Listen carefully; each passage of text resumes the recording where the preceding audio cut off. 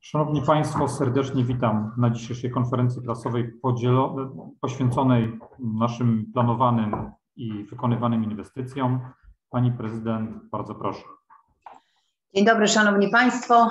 E, serdecznie witam wszystkich Państwa. Dzisiaj chcielibyśmy Państwu opowiedzieć o naszych planach i zamierzeniach inwestycyjnych, które, jak Państwo zapewne pamiętacie, powstały w oparciu o potrzeby zgłaszane w trakcie spotkań, choć nie ma już rad osiedli, w czasie spotkań z mieszkańcami poszczególnych osiedli. Zbierane były również od radnych naszych, Rady Miasta, ale również od organizacji pozarządowych i mieszkańców, którzy również mają prawo włączyć się na etapie budowania budżetu mm, w ten cały proces budowania przyszłorocznych inwestycji. Proszę Państwa, mieszkańcy bardzo chętnie, muszę Państwu powiedzieć, e, chcą zaangażować się i angażują się w procesy decyzyjne, chcą mieć wpływ na to, co powstaje w ich najbliższym otoczeniu, ale również chcą mieć wpływ na to i wiedzieć, jak wydawane są środki publiczne. E, za moimi plecami jest mapa naszego miasta, na którą nanieśliśmy wszystkie te miejsca, w których będą wykonywane e, w najbliższych kilkunastu miesiącach inwestycje. I tak, proszę Państwa, oznaczyliśmy je, nie wiem czy to widać, kolorem czerwonym na te inwestycje, które już trwają, kolorem niebieskim. Wszystkie te inwestycje, do których e, przygotowani jesteśmy już, bo mamy dokumentację projektową, bądź ta dokumentacja projektowa jest już zlecona. I na żółto oznaczyliśmy plany, czyli e, to są te miejsca, na których przygotowywane będą mm, dokumentacje projektowe. Jak Państwo zapewne widzicie, e, w zasadzie te miejsca e, są mm, równomiernie rozmieszczone na planie naszego miasta, czyli na każdym osiedlu w koło brzegu będzie toczyła się w najbliższym czasie inwestycja, bądź też inwestycja ta jest prowadzona w chwili obecnej. E, proszę Państwa, łącznie to 68 pozycji. W tegorocznym budżecie zapisaliśmy kwotę 65 milionów na wszystkie te procesy inwestycyjne. E, muszę Państwu się pochwalić, że my również sięgamy do różnych programów i pozyskujemy środki zewnętrzne i na ten rok już w chwili obecnej mamy 29,5 miliona i są to środki z głównie mm, z Polskiego Ładu, z Rządowego Funduszu Inwestycji Lokalnych, a także z Rządowego Funduszu Dróg lokalnych, więc nie jest to mała kwota. Dodam jeszcze, że nie będziemy Państwu dzisiaj pokazywali tych wszystkich inwestycji, które wynikają z naszych zadań bieżących, czyli takich drobnych napraw, utrzymania parków, terenów zielonych, czy na przykład wymiany przystanków autobusowych, bo gdybyśmy to jeszcze nanieśli na plan miasta, to stałoby się to zupełnie nieczytelne. Za chwilę pani mm, Ewa Pełechata, zastępca do spraw gospodarczych, mm, w sposób szczegółowo mówi Państwu te inwestycje, które planujemy w tym i pewnie w kolejnym roku, bo są to niejednokrotnie bardzo duże, bardzo ambitne zadania. Ja natomiast chciałabym pochwalić się Państwu tymi najbardziej kluczowymi tymi, na które mieszkańcy czekają już od dawna. I przede wszystkim zwrócę uwagę tu na mm, fakt, że już w tym roku Rozpoczniemy przebudowę ulicy Zdrojowej. Mówimy o, tym, o tej inwestycji jako o takiej epokowej inwestycji, ponieważ znikną te mm, szpecące krajobraz naszego miasta rury ciepłownicze i na tę inwestycję udało nam się pozyskać mm, dofinansowanie w 13 ponad milionów e, złotych z e, rządowego programu Polski Ład. Rozpoczniemy również w tym roku również długo wyczekiwaną przez mieszkańców inwestycję związaną z przebudową ulicy Armii Krajowej na odcinku od Dworcowej mm, do ulicy Łopulskiego. E, tu również droga będzie, ta inwestycja będzie dofinansowywana ze środków zewnętrznych. Czekamy na ostateczne rozstrzygnięcie z Rządowego Funduszu Dróg Samorządowych. E, trwa projektowanie mostu. Informowaliśmy o tym Państwa. Most na kanale Drzewnej przy ulicy Młyńskiej. Projekt ma być gotowy w tym roku i jak tylko pojawi się dokumentacja projektowa, przystąpimy natychmiast do e, prac remontowych, gdyż jak Państwa informowaliśmy wcześniej, most ten rzeczywiście jest już mocno wyeksploatowany mm, i chcemy, mm, chcemy aby jak najszybciej ta inwestycja była e, przeprowadzona. Planujemy, proszę Państwa, wykonanie projektów ulic Brzeskiej, to jest osiedle Podczele, Wojska Polskiego i Okopowej, ale również kompleksowo, obiecaliśmy to mieszkańców, będziemy przygotowali dokumentacje projektowe e, w dzielnicy zachodniej i w dzielnicy e, Radzikowo. E, ale również ulica Bogusława X, Chodkiewicza, Wielkopolska, Wąska czy Brzozowa. Tu mówimy o dokumentacjach projektowych. E, trwa w tej chwili projektowanie bardzo drogich inwestycji, takich jak na przykład ulica Kresowa. Jest to proces bardzo czasochłonny i później ta inwestycja będzie niezwykle kosztochłonna, ale mm, w tym przypadku będziemy na pewno musieli posiłkować się środkami zewnętrznymi, będziemy poszukiwali różnych możliwości dofinansowania. E, trwa również projektowanie parkingu przy ulicy Kamiennej i tu również będzie to inwestycja bardzo kosztochłonna, tu również będziemy starali się pozyskać środki mm, zewnętrzne. Planujemy aplikować ubiegać się o dofinansowanie mm, z rządowego programu Polski Ład. E, projektujemy rozbudowę żłobka Krasnal i to projektowanie jest już na finiszu tym roku planujemy rozpisać przetarg i rozpocząć prace budowlane. One na pewno zakończą się w przyszłym roku, ale to taka, taka dobra informacja dla wszystkich młodych kołobrzeżan, którzy chcieliby powierzyć opiece właśnie swoje e, pociechy w żłobku Krasnal. Mamy tam zaledwie 120 mm, miejsc, planujemy je poszerzyć o kolejne 100 miejsc i tu również otrzymaliśmy dofinansowanie z Rządowego Funduszu Inwestycji Lokalnych. Czekamy na bardzo ważne rozstrzygnięcie, na rewitalizację skweru 750-lecia, czyli tych terenów przy ulicy Dibuła.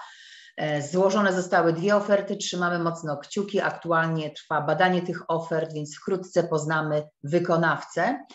E, również warto przypomnieć, dostaliśmy dofinansowanie na budowę strzelnicy kulowej. Ta inwestycja również już wkrótce znajdzie swój szczęśliwy finał. Tu również mamy dofinansowanie z rządowego programu Polski Ład. No i proszę Państwa, mieszkańcy ulicy Zygmuntowskiej, uwaga, bardzo dobra też wiadomość, udało nam się, proszę Państwa, uzyskać porozumienie z Kołbrzyską Spółdzielnią Mieszkaniową i powstanie tam parking zarówno na tej części, której jesteśmy my jako miasto właścicielem, jak i w tej części, której KSMK jest właścicielem. Tu wielkie podziękowania mm, dla mm, zarządu za to, że jednak przychylił się do naszej prośby, bo one były te prośby tak naprawdę podyktowane postulatami płynącymi wprost od mieszkańców, między innymi tej ulicy. Proszę Państwa, oddaję już głos Pani Prezydent Ewie Pełchatej, która Państwu opowie w szczegółach, bo rzeczywiście te kolejne miesiące, kilkanaście miesięcy zapowiadają się niesłychanie pracowicie. Pani prezydent, proszę. Dzień dobry, witam serdecznie. Przyglądałam się, jak pani prezydent mówiła o żłobku Krasno i widziałam minę pana redaktora Polanina, więc sądzę, że to w jego kierunku ogromny ukłon. Myślę, że ma wobec tego obiektu akurat e, plany e, prywatne. Szanowni Państwo, za panią prezydent mapa z wieloma pineskami. Rzeczywiście inwestycje, które trwają, które są przygotowywane. Jest tego naprawdę bardzo, bardzo dużo. A ja tylko chciałam Państwu jeszcze raz opowiedzieć o aktualnym stanie tych, które są w tej chwili realizowane, które trwają. Zacznę chyba od tej mm, kluczowej. Nie tak dawno widzieliśmy się w urzędzie, mówimy tutaj o promenadzie na odcinku od mm, Kamiennego Szańca e, do Arki. Jak Państwo wiecie, e, przekazany został teren budowy, zabezpieczone zostały drzewa, a w tamtym tygodniu mieliśmy spotkanie ze wszystkimi zarządcami obiektów, które y, bezpośrednio przy, przy, tej promenadzie się znajdują. E, czekamy tak naprawdę w tej chwili tylko na zatwierdzenie organizacji ruchu na czas e, prac i myślę, że będziemy mogli e, ruszać. Ja tutaj też w imieniu Pani Prezydent i swoim chciałam bardzo podziękować za zrozumienie dla tej sytuacji E, bo przecież nie jest łatwo prowadzić działalność, kiedy obok jest remont, ale naprawdę takie zrozumienie widziałam na tym spotkaniu. Przypomnę Państwu, że inwestycja to 17 milionów e, złotych z, dofinansowane z dwóch programów. E, z Regionalnego Programu Operacyjnego Województwa Zachodniopomorskiego na lata 2014-2020 jeszcze udało się Pani Prezydent tutaj zdobyć dla miasta 7 milionów 300 tysięcy złotych oraz Rządowego Funduszu Inwestycji Lokalnych kwota ponad 4 miliony 800 tysięcy złotych. Przypomnę Państwu, że mm, plan mm, wykonawcy jest taki, czy umowa jest podpisana w taki sposób, że mamy tę inwestycję zakończyć do 6 października 2022 roku i gdyby nie problemy na rynku materiałowym, to zapewniam Państwa, że inwestycja byłaby zakończona znacznie szybciej, ale narzekają na to wykonawcy naszych robót, że niestety głównym problemem tego, że nie kończą ich wcześniej, jest właśnie kłopot na rynku materiałowym. Druga taka inwestycja, którą rzeczywiście idzie w niesłychanie szybkim tempie, to jest przebudowa ulicy Westerplatte. Mamy termin zakończenia inwestycji 25 maja 2022 roku. Mm, ale już chyba muszę Państwu powiedzieć, że biorąc pod uwagę, jak zaawansowany jest stan prac i o czym nas poinformował dzisiaj wykonawca, że 28 stycznia rozpoczynamy trzeci etap e, tej wdrażania e, organizacji ruchu, czyli tak naprawdę przechodzimy już na, to, e, na tą część przedostatnią całej inwestycji, to można mm, mieć nadzieję, że ta inwestycja zakończy się szybciej ku ogromnemu zadowoleniu zapewne wszystkich tych osób, które prowadzą tam działalność gospodarczą. E, przypomnę, że przebudowa ulicy Westerplatte została dofinansowana z Funduszu Dróg Samorządowych kwotą 1 250 tysięcy, czyli połową, bo całkowity koszt inwestycji to 2 miliony 500 e, tysięcy złotych. E, mieliśmy się dzisiaj spotkać w pięknym miejscu, jakim jest sala gimnastyczna w szkole, przy szkole podstawowej numer 5. Mogę powiedzieć, że w pięknym, bo rzeczywiście rośnie jak na drożdżach nam ta sala. Tu mamy termin zakończenia prac 25 sierpnia 2022 roku, ale też możemy być pewni, że być może ten termin y, dotrzymanie, zostanie dotrzymany. Tutaj, proszę Państwa, mamy dofinansowanie 1 700 tysięcy złotych z Urzędu Marszałkowskiego, y, z Państwowego Funduszu y, Rehabilitacji Osób Niepełnosprawnych. Całkowity koszt to 4 miliony 800 tysięcy złotych. No i to, co widzicie Państwo tuż za oknem e, naszego urzędu, to jest renowacja ratusza. Na tą renowację składa się nie tylko przebudowa samej kawiarni Adebar i tutaj historyczny moment również, podobnie jak na ulicy Zdrojowej, zniknęły już e, e, te obiekty, które do ratusza były przyklejone, nie ma już śladu po tym starym Adebarze, ale w ramach tej inwestycji będziemy, proszę Państwa, jeszcze wymieniać okna. Obie te inwestycje to jest koszt około 4 milionów 400 tysięcy złotych, z czego z Rządowego Funduszu Inwestycji Lokalnych e, przeznaczono 2 miliony złotych e, dofinansowania. Tutaj, jak Państwo wiecie, e, troszeczkę wydłuży się termin remontu samej kawiarni Adabar. Odkryta została zabytkowa studnia, jesteśmy już po pracach archeologicznych, one zostały zakończone. No i też chyba dobra wiadomość, bo chcielibyśmy jednak tutaj zatrzymać albo mm, pozostawić w jakiś sposób wyeksponować właśnie ten obiekt e, historyczny e, w naszym ratuszu. W tej chwili przygotowujemy projekt aranżacji tej podłogi, tak żeby studnia była pięknie podświetlona i żeby można było ją e, oglądać, no i żeby też stanowiła swoistą atrakcję tego, tego, tego miejsca. Co jeszcze, proszę Państwa? No rośnie nam w oczach świetlica na ogrodach. Całkowity koszt to 2 miliony 100 tysięcy złotych i mm, koniec marca 2022 roku to jest termin umowny zakończenia e, tej inwestycji. E, przebudowa ulicy Gdańskiej i Poznańskiej. Jutro, proszę Państwa, mamy odbiór. Mała ulica, ale to małe chyba najbardziej cieszy naszych e, mieszkańców. Bardzo długo mieszkańcy czekali na jej remont, więc jutro już mamy właśnie prace odbiorowe. Koszt to, proszę Państwa, z budżetu ponad 800 tysięcy mm, złotych. A w budżecie, proszę Państwa, mieliśmy przebudowę ulicy Słonecznej i Wesołej. O ile Słoneczna została zakończona w poprzednim roku, to w tej chwili trwają prace na ulicy Wesołej. Koszt przebudowy samej ulicy Wesołej to 1,5 miliona e, złotych i termin zakończenia to jest maj 2022 roku.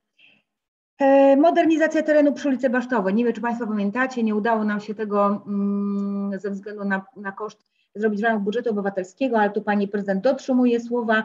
Mm, przetarg jest rozstrzygnięty, e, a wykonawca yy, yy, przygotowuje się do tej inwestycji. Ona jest bardzo złożona, troszeczkę kiepski okres czasu, ponieważ tam wymieniamy całą nawierzchnię na nawierzchnię bezpieczną i to z tego tytułu jeszcze tak naprawdę tam wykonawca nie zaczął prac ponieważ e, no, temperatura nie pozwala na, e, na e, wyłożenie tej nawierzchni. No i z takich istotniejszych, najistotniejszych chyba inwestycji, bo jest jak Państwo widzicie całe mnóstwo, to są pawilony handlowe na promenadzie. Co jakiś czas przypominamy Państwu o tym temacie. W ramach konkursu architektonicznego została podpisana już umowa z wykonawcą.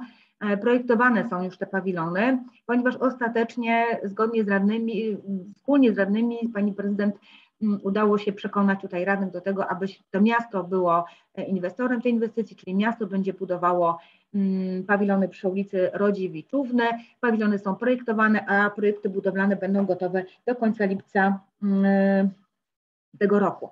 No nie, nie sposób, proszę Państwa, powiedzieć, że nie mamy kłopotów z realizacją tych inwestycji.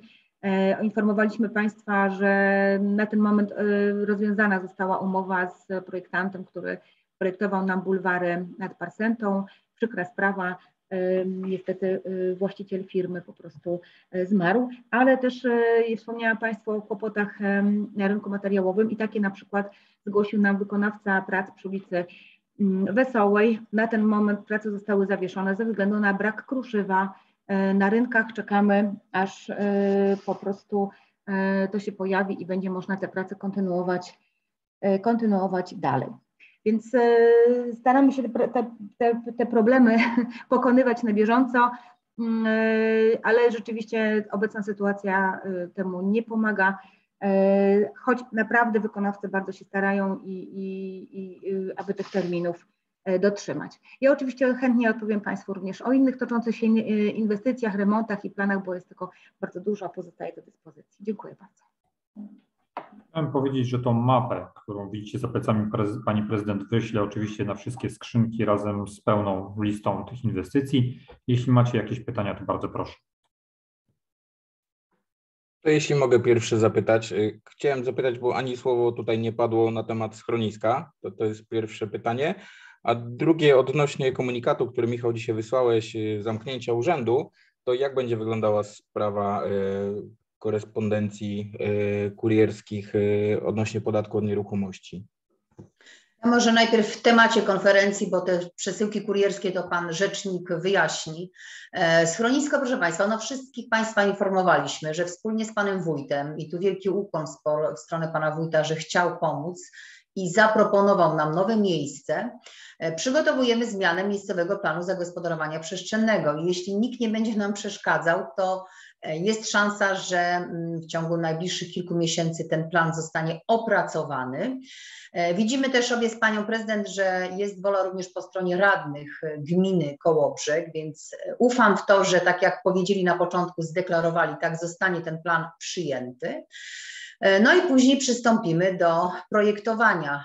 W międzyczasie odbyłam spotkanie mm, ze wszystkimi mm, włodarzami gmin powiatu Kołobrzeskiego i zaoferowałam im e, możliwość e, wspólnej budowy tego schroniska, bo przecież jak Państwu wiadomo, nasze schronisko aktualnie przyjmuje bezdomne zwierzaki nie tylko z terenu miasta Kołobrzeg, dlatego jest ich nieco więcej niż mogłoby być, e, gdybyśmy tylko my dla swoich mieszkańców i dla swoich zwierząt, które są bezdomne, mieli to policzone.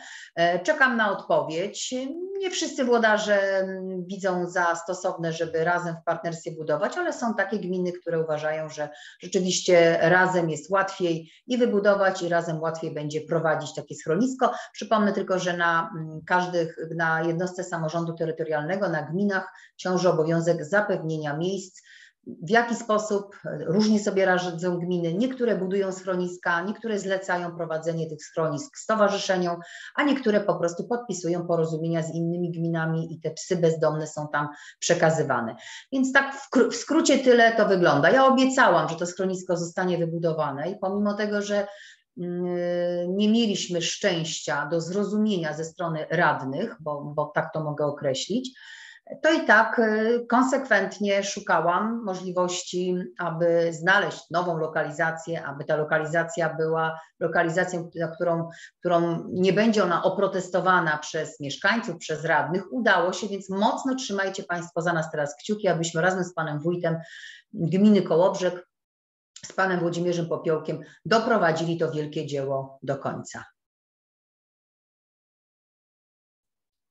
A jeśli chodzi o akcję kurierską, to oczywiście będzie do tego stosowny komunikat, natomiast przygotowujemy się, tutaj nie ma wyjścia, decyzję trzeba doręczyć, a tak jak mówię, napiszę w tej sprawie osobny komunikat. Ja bym chciał zapytać o ulicę Zdrojową, bardziej jakieś terminy, chodzi mi o sezon, bo zakładam, że to jest inwestycja, która będzie trwała długo i utrudnień w tym roku nie unikniemy. A druga to właśnie oczywiście chciałem bardziej szczegółowo dopytać o ten żłobek, kiedy, kiedy jest realna szansa na jego oddanie. W sensie no to zacznę, zacznę od tej inwestycji, która ma szansę być zrealizowana już e, w tym roku, rozpoczęta realizacja w tym roku, a mianowicie żłobek, bo rzeczywiście jest to inwestycja, na którą wszyscy czekamy w Kołobrzegu, zwłaszcza rodzice małych dzieci. Proszę Państwa, no niestety e, proces e, projektowania przedłużył się znacznie. Wielokrotnie wykonawca dokumentacji projektowej zwracał się do nas z, o przesunięcie terminu realizacji. No powodem była pandemia, więc no tak to to już jest, że, że mm, zdarzają się takie sytuacje, że wykonawcy nie mogą zrealizować umowy w takim terminie, w jakim wskazywałoby to w chwili podpisania. Ale proszę Państwa, z tego co wiem, do końca stycznia miał być już złożony mm, wniosek o pozwolenie na budowę, e, więc jak tylko będą te dokumenty nam przekazane, my jesteśmy gotowi, będziemy przygotowali wówczas specyfikację, zostanie rozpisany przetarg i e, ta inwestycja, jeśli nie będzie po drodze jeszcze jakichś innych nieprzewidzianych zdarzeń, które jak Państwo widzicie, co chwila się zdarzają, głównie podyktowane są one pandemią i trudnościami, na które napotykają i wykonawcy, i projektanci, i my samorządowcy również, to e, myślę, że w tym roku rozpocznie się budowa czy też rozbudowa żłobka Krasna. Natomiast jeżeli chodzi o zdrojową, to też już wielokrotnie o tym informowaliśmy Państwa, wszystkich mieszkańców, że my robimy zawsze mm, plan tych inwestycji zgodnie z, z rytmem życia naszego miasta, czyli nie rozpoczynamy tych inwestycji co do zasady przed sezonem letnim, żeby nie było jeszcze większych utrudnień niż tych, niż tych które niesie z sobą duża ilość turystów, z czego oczywiście bardzo się cieszymy. Więc mamy taki plan ambitny, aby rozpocząć to w ostatnim kwartale tego roku, natomiast nie jesteśmy w stanie przewidzieć, czy ta inwestycja, ona i tak będzie niesamowicie trudna i tak będzie ona wymagała ogromnej cierpliwości ze strony mieszkańców, o co oczywiście będę Państwa prosiła. I nie mamy dzisiaj tej pewności, czy ona nie zakończy się i nie będzie to się zazębiało z kolejnym sezonem letnim. Ale mm, no, jeśli pójdzie wszystko z harmonogramem, wszystko zgodnie z planem, to w ostatnim kwartale rozpoczniemy tę trudną inwestycję. Proszę zobaczyć, ile ulic jest, y, ile ulic jest ulicami, które wyjeżdżają na ulicę Zdrojową i to naprawdę będzie wymagało wielkiej rozwagi, roztropności, umiejętności przy całym tym procesie organizacji ruchu drogowego, aby tych utrudnień było jak najmniej, a przecież Kołobrzeg również tętni życiem poza sezonem letnim, bo są tam również ośrodki sanatoryjne, więc to tyle pokrótce. Na pewno zrobimy wszystko, żeby było jak najmniej tych uciążeń, uciążliwości, i na pewno będziemy, tak jak to miało miejsce w przypadku promenady, czy też wielu innych ulic, tam gdzie prowadzone są działalności gospodarcze, spotkania będą się odbywały w odpowiednim czasie, będziemy informowali krok po kroku o każdym kolejnym etapie. Proszę spojrzeć, ulica Obrońców Westerplatte, jest to też niesłychanie trudne przedsięwzięcie. Wchodzimy już w trzeci etap, po kolei, krok po kroku, etap po etapie realizujemy inwestycje. Są oczywiście utrudnienia, za które przepraszamy, ale naprawdę staraliśmy się, aby ta organizacja ruchu była jak najmniej uciążliwa, przede wszystkim dla kołobrzeżanek i dla kołobrzeżan.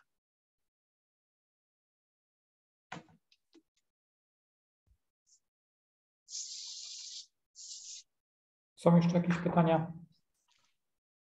To bardzo dziękujemy i prosimy, abyście Państwo trzymali za nas kciuki, bo jest to niesłychanie ambitny plan. Zobaczycie Państwo na planie miasta, jak wiele jest to miejsc, które mm, zupełnie zmienią swoje oblicze po przeprowadzeniu tych wszystkich inwestycji i projektów. Dziękuję.